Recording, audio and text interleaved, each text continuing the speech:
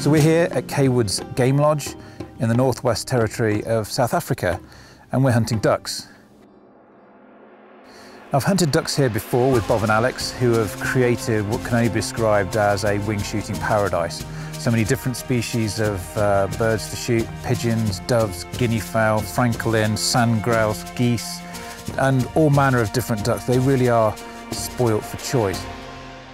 Now, Bob and Alex, they're English, and they brought all of their experience and knowledge for wing shooting in the UK over here to South Africa, and they have done an incredible job. So although the types of species that we're shooting is very different, the actual style of shooting is very familiar.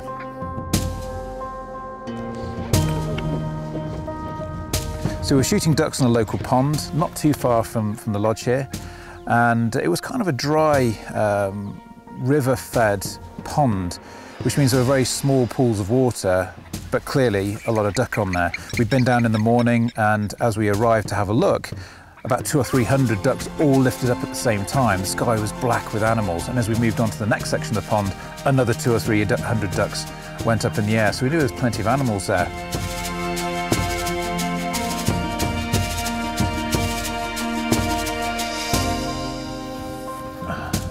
We got quickly into position um, hoping that not only the ones that had gone off would soon come back, but also waiting for the ones that we'd see in the morning.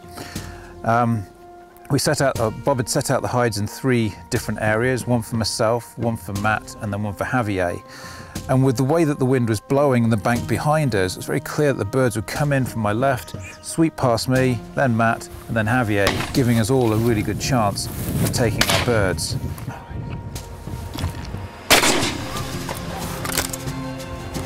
It started off a little bit slow, um, probably coming in ones, twos and threes. Oh, beauty. And after we'd been there for about an hour and a half, maybe two hours, then large flocks started to come in.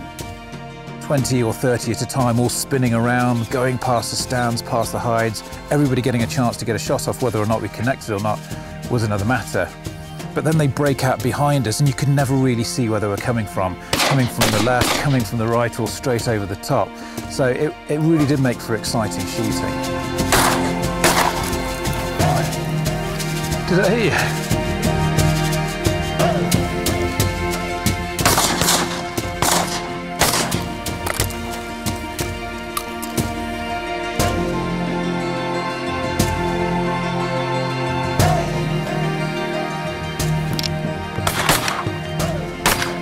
Yes, beautiful.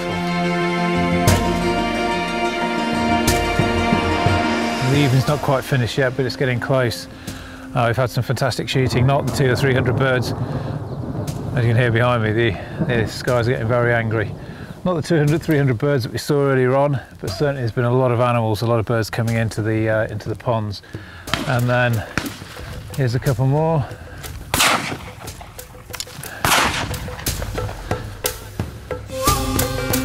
It's been an incredible evening. Um, I think we've all shot our quota for tonight, which is fantastic. Um, bit of picking up to do. I've got wet trousers and they're still coming in now.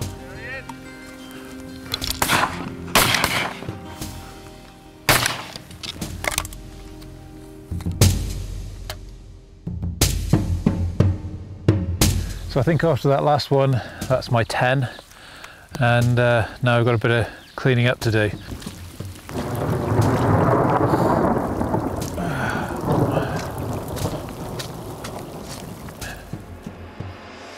Uh, all in all, a fa fantastic, action-packed day's duck shooting and another wonderful evening and a sunset that only South Africa can provide.